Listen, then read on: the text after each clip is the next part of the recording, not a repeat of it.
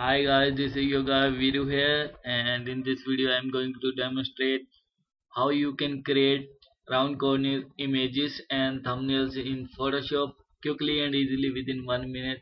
Now there are lots of videos on YouTube already on regarding this but they are telling you use this PNG, place it there, blah blah.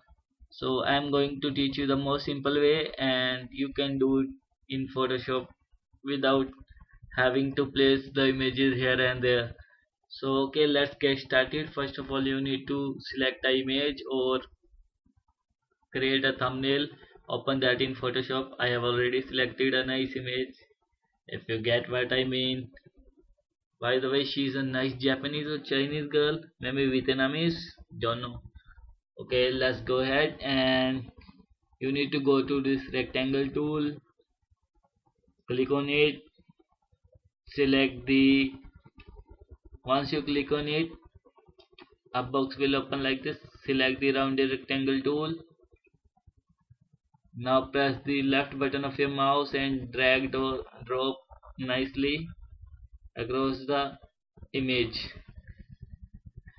Now these round corners are coming due to this radius thing so you can play with that radius uh, as per the size of your image now we need to move this image layer above this shape layer. So to do that first we need to unlock this. Just double click on this unlock this and then hold your left button of your mouse and just drag down this layer upwards. Once that is done just hold the alt key on your keyboard and take your mouse arrow on this layer once it turns this black and white thing just press the left button of your mouse. And that's it. Nice and easy it's done. You just need to save it as png because only png supports transparent background. So thank you guys for watching this video. I hope this is helpful for you. If you need any further help you can post in comments below and i will get back to you.